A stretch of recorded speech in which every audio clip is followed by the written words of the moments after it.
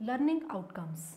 After reading this module, you shall be able to gain an insight about the impact of MNEs on saving and investments in the host economy. Understand the impact of MNEs on the development of technology and human capital development in the host economy. Identify the impact of MNEs on balance of payments of the host economy.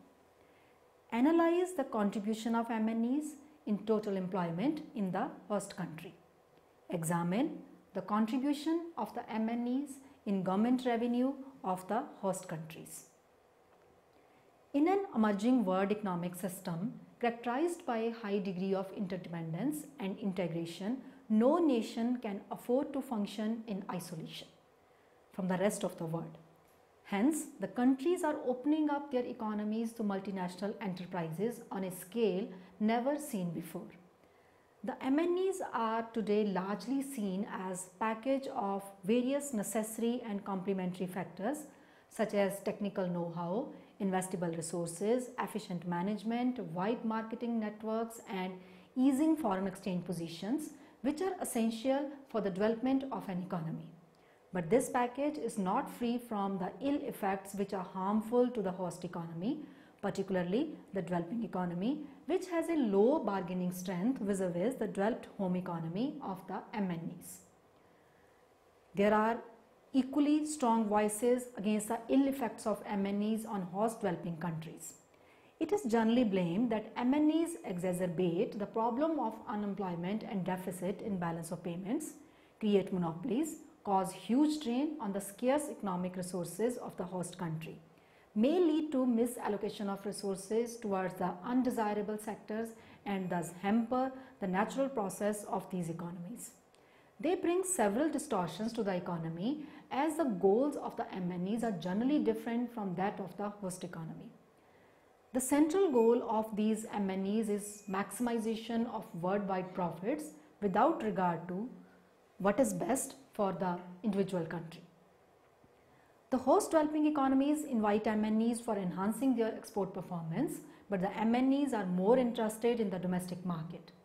In this way, they also hamper growth of indigenous industries by exposing them to unfair and unequal competition. Thus, we can see that there are hopes as well as the apprehensions about the effects of MNEs on the host economy. Here, we can discuss these aspects one by one. MNEs as source of physical capital. Adequate physical capital is an important prerequisite for faster and self-sustained growth. Developing economies generally face the problem of saving investment gap as their investment requirements are much greater than their capacity to save. Investment inflows through the MNEs are expected to fill this gap. The investment by MNEs is generally a long-term investment as compared to other forms of capital such as foreign aid, loans and portfolio investment. It is also considered to be a safer option as unlike other modes of bringing foreign capital, its returns flow out only after the enterprise starts generating income. That is, the capacity to repay has been generated within the economy itself. On the other hand, in other sources of foreign capital such as aid or loans, the amount has to be repaid after the specified time period even though the period has not started generating income. However, it is the relationship between the foreign and domestic investment that determines the ultimate and the net effect on physical capital stock of the economy. Investment by MNEs may complement the same by indigenous enterprises and it may even substitute it or crowd it out. The greenfield investment by the MNEs raised from foreign sources undoubtedly not only adds to the existing stock of capital but also to the existing productive capacity. On the other hand, the mergers and acquisitions funded through the capital market of the host economies may not be doing the same. If an MNE raises its capital through borrowings from the local financial market of the host economy, it will actually be using the existing stock of capital meant for the local investors and hence this activity of the MNEs will be crowding out the local investment. On the other hand, MNE operations can stimulate host country production in additional industries through creating a demand for intermediate goods. If host country firms can supply these intermediate goods and result can be an increase in domestic investment, however, we need to recognize the cause and effect relationship here. Does investment by MNEs spur growth in the host country or it is the rapidly growing economies that induce more of the MNEs to sneak into their markets as there are evidences that high growth rates may lead to more FDI inflows by enhancing the investment climate in the country. Besides, the critics have pointed out that in the short period it may seem that MNEs are adding to the existing capital stock but in the long run they may become the cause of outflow of capital. It is generally blamed that the MNEs mainly increase their equity from the profits generated within the host economy instead of net transfers into the country. The MNEs have much higher profitability than their local counterparts and rely heavily on retained earnings for increasing their investments. These retained earnings though may reduce the outflow of capital in the short term but in the long run they increase the foreign exchange liability without bringing any fresh capital into the economy. Actually, the addition to capital stock of the host country by the MNEs largely depend on host government policies. Earlier, the governments used to extensively employ selective policies imposed various performance requirements such as local content requirements or LCRs to deepen the commitment of MNEs with the host country. But in the current scenario, such policies are considered to be having a discouraging effect rather than the encouraging effect on, on MNE's decision to invest in any economy. In order to attract more and more of the MNEs, the host governments are liberalizing their rules instead of tightening them. The situation is further exacerbated by the international trade rules or agreements such as WTO Trade Related Investment Measures or TRIMS agreement which has made stringent local content requirements among others non-permissibles. Let us discuss about MNEs as source of technological spillovers. Technological improvement is an important determinant of growth. Without technological improvements, the addition to physical capital stock lead the economy to a stationary state. The MNEs are assumed to possess a technology that is superior to the technology available to host country firms. But its benefits do not automatically spill over to the host economy. This spillover may occur through sharing of information or hiring an employee from the competing firms that has a knowledge about this technology. The knowledge is embodied in the employee allowing the hiring firm to use that knowledge. Even if there is no such hiring or sharing of the information, the technology can spill over through several backward and forward linkages. In case of a backward link, the MNE buys intermediate goods from a domestic supplier. In such cases, the technology is transferred through product specifications or technical advices to improve the quality of the intermediate product. Through forward linkages, where the products of MNEs is intermediate in nature, for the final goods produced in the host economy.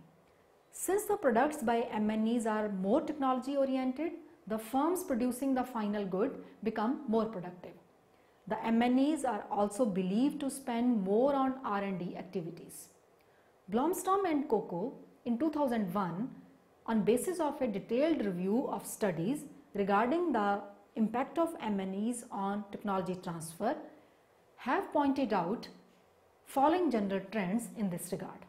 The MNEs may contribute to efficiency by breaking supply bottlenecks, but that the effect may become less important as the technology of the host country advances.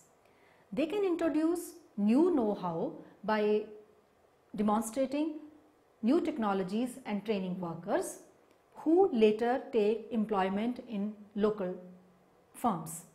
They may either break down monopolies and stimulate competition and efficiency or create a more monopolistic industry structure depending on the strength and responses of the local firms. They may transfer techniques for inventory and quality control and standardization to their local suppliers and distribution channels. And they may force local firms to increase their managerial efforts or to adopt some of the marketing techniques used by MNCs either on the local market or internationally. However, on the bleak side, it is generally blamed that the MNEs never share their technology with the local competitors and if they share, it is always an outdated technology. Their technology is generally termed as island technology as they take utmost care not to get it spilled over to their potential competitors in the host economy. Actually, establishing a wholly owned subsidiary in any economy is a strategy to internalize your technology than to let it spill over. They always hire foreign personnel at the higher levels where there are chances of open access to given knowledge. Local workers and managers are employed at the lower rungs of the knowledge hierarchy. It is being felt that the possibility of technology transfer largely depends upon absorptive capacity of the host economy. If there is inadequate R&D to adapt and apply the foreign technology according to local requirements and environment and there is lack of trained professionals, the technology brought by the MNEs will remain island type. Thus, technology spillovers are not automatic consequences of investment by MNEs. Instead, the MNEs and the existing level of human capital in the host economy interact in a complex and non-linear manner. For instance, host economies with relatively high levels of human capital may be able to attract large amounts of technology intensive foreign MNEs that contribute significantly to the further developments of labor skill. At the same time, economies with weaker initial conditions are likely to experience smaller inflows of FDI and those foreign firms that enter are likely to use simpler technologies that contribute only marginally to local learning and skill development. MNEs and human capital development. The transfer of technology from MNC parents to its affiliates and other host country firms is not only embodied in machinery, equipment, patent rights and expatriate managers and technicians, but is also realized through the training of local employees. While most recipients of training are employed in the MNC's own affiliates, the beneficiaries also include employees among the MNC suppliers, subcontractors and the customers. Types of training range from on-the-job training to seminars, workshops and more formal schooling to overseas education depending on the skills needed. The MNEs also have a great influence on formal education in a country. It is being felt that while the MNEs have a marginal effect in the primary and secondary education, but there is an increasingly clear evidence that they do have a significant impact on tertiary education in their host countries.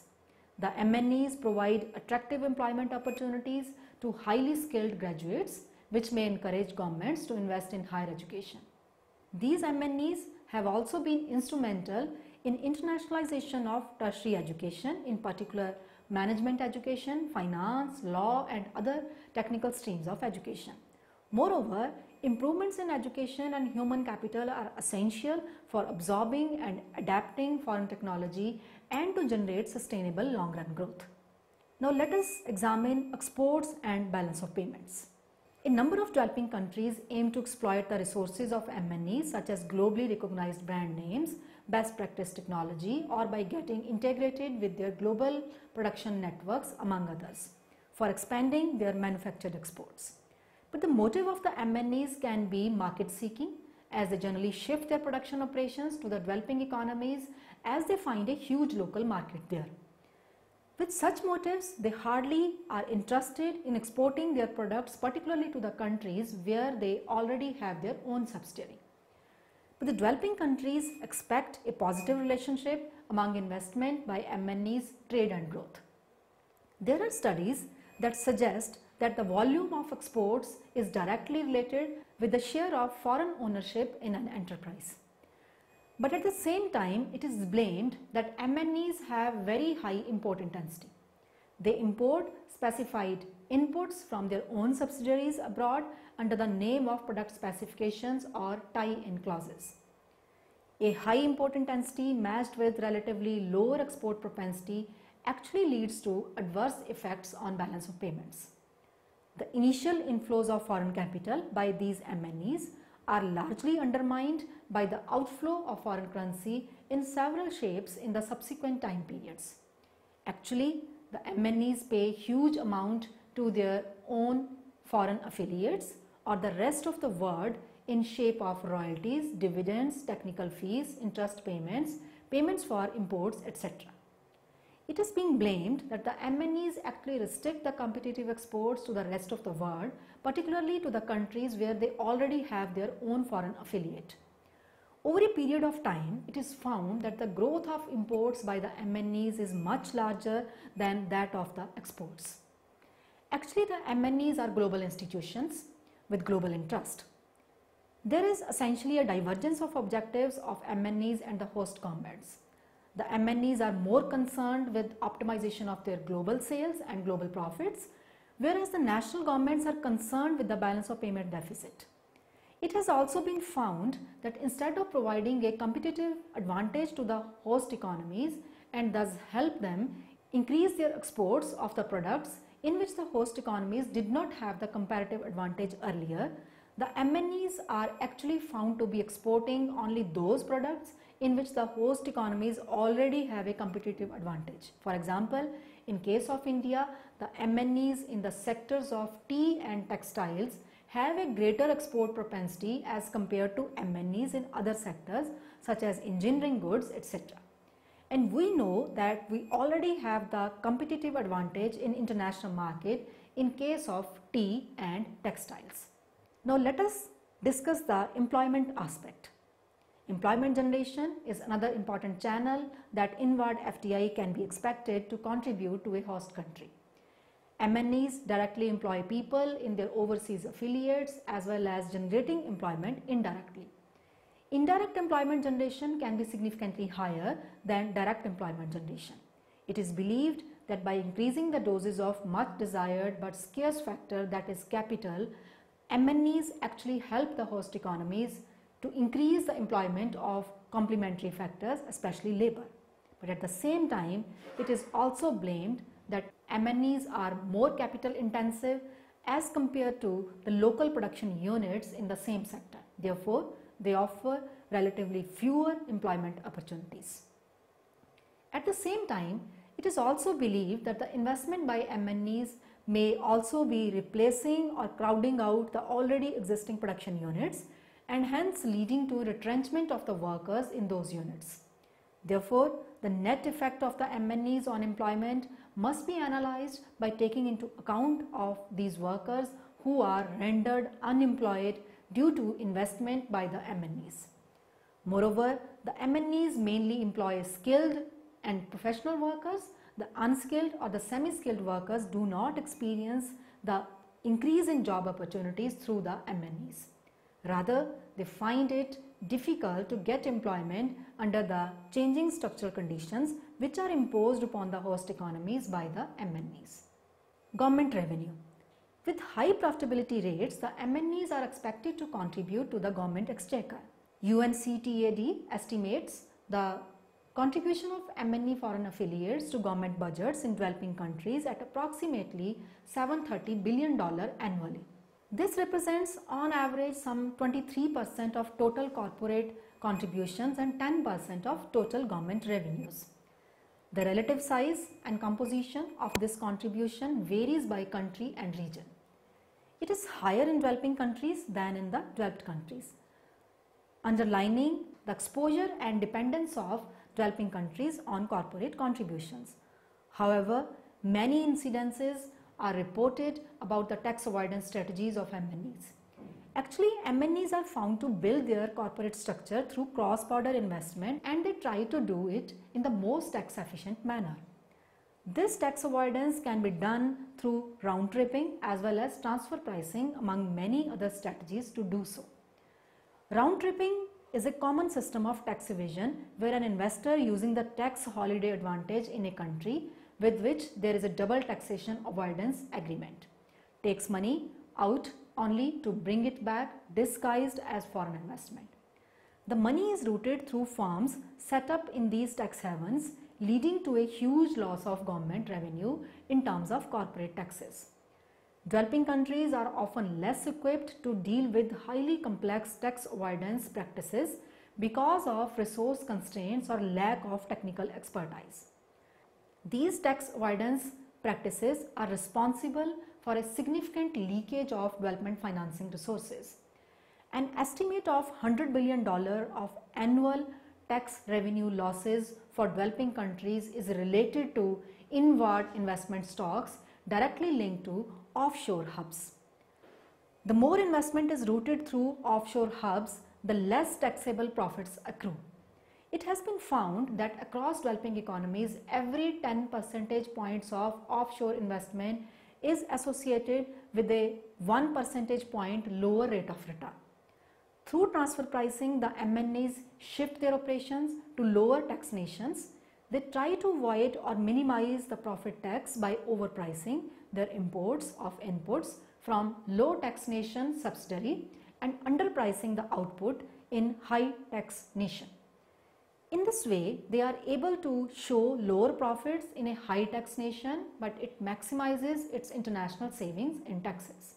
International agreements and weak bargaining of host economies.